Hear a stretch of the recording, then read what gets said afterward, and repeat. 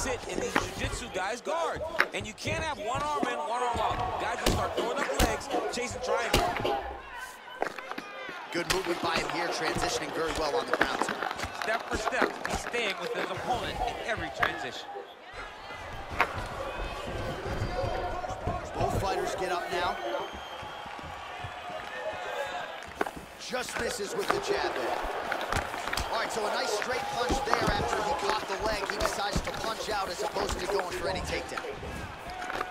All right, so a nice shot there defensively to raise the guard and prevent any damage. Those hands never leave. He needs to start looking to finish now because he's got to go very fast. Oh, he might be out.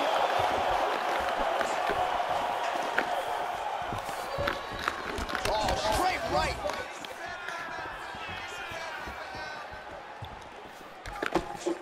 Well, perhaps a sign of things to come as he lands a kick there. Nice kick landed by Oh, Mazzane. Nice kick. Right into the finish. Nice takedown. All right, working inside the now open guard of his opponent. Uh-oh. Throwing up a triangle. The guy on his back is very good at submission, and if he's not careful here, he's going to get stuck, and he will have to submit. Punch Punches blocked. Big, powerful press land. Now he gets back to range.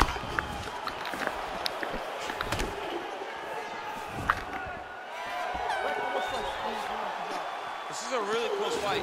The official decision is in. Bruce Buffer has it.